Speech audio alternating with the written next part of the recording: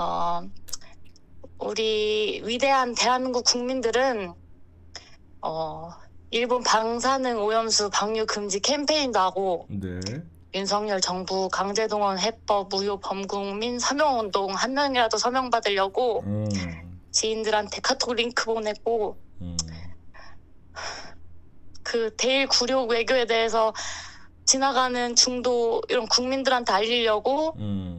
시민들이 자발적으로 현수막 걸고 음. 부산에서는 오늘 또 그 출근 시간에 시민들이 나와가지고 네. 매국 정부 피켓 시위도 하시더라고요. 네, 네. 그래서 대한민국 국민들은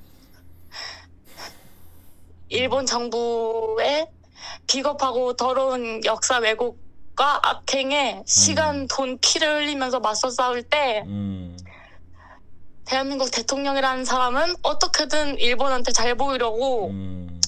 우리 대한민국 국민들의 시간, 돈, 피 그리고 우리 자존심까지 싹싹 긁어다가 일본한테 다 바치려고 음. 발악을 합니다. 음. 또 음, 민주당도 마찬가지인 것 같아요. 음. 민주당원들은 이재명 대표님 체포동의안 이후에 상처받은 마음 엄청 컸잖아요. 근데 네. 그 마음으로도 민주당 의원들 모두에게 제발 똥, 똘똘 뭉쳐달라고 떡 돌리고 음. 이재명 대표님 악마 벗기려고 네이버 다음 댓글에서 싸우고 음. 주말마다 민주당 지키려고 집회 가고 돈, 시간, 피 흘리며 싸워요. 음.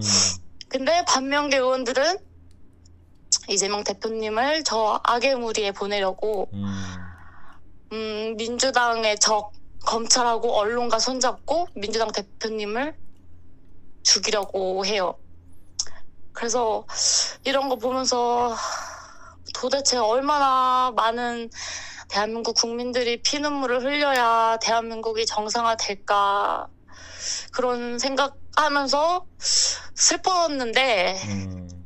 음, 그래도, 어, 대하, 이재명 대표님 지키는 게 대한민국 지키는 일이니까 음. 다시 또 똘똘 뭉쳐서 하루에 50개씩 네이버 다음 댓글 싸움 꼭 하고 의원님들한테 당내 혁신하라고 요구하고 그리고 그렇게 했으면 좋겠어요. 음. 이재명 대표 의원님은 어 당내랑 그리고 여당 검찰 언론한테 다 공격받으시는데도 버티시는데 우리가 간접적으로 받는 상처가 뭐 그리 아프겠어요. 이재명 대표님에 비해서 뭐가 그렇게 힘들다고 손 놓고 외면하고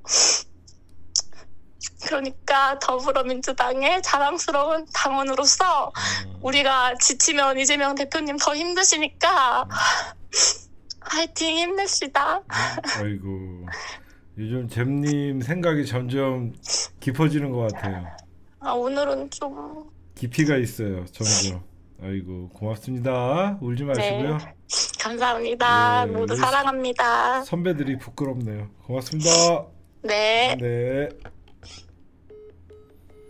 네, 우리 잼님 생각, 우리 의원님들 그리고 윤석열 씨 이렇게 젊은 청년들도 이런 생각을 하는데 부끄러운 줄 아셔야죠. 잼님 고맙습니다.